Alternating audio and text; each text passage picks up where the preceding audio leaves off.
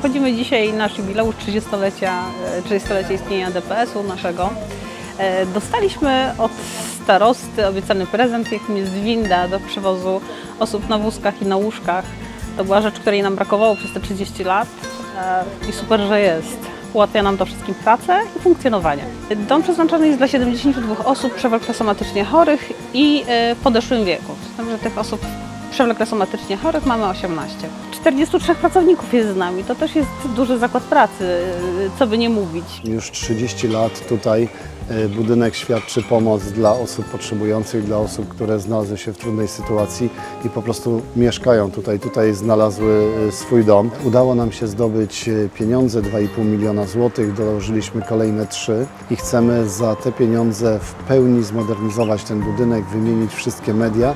Prezent, z którym dzisiaj oficjalnie przyjeżdżamy, to jest nowa winda wybudowana za ponad pół miliona złotych. Połowę tych środków uzyskaliśmy z Państwowego Funduszu Rehabilitacji Osób Niepełnosprawnych. No i to taki prezent, który na- na 30-lecie Zarząd Powiatu i Rada Powiatu przywozi do tego ośrodka.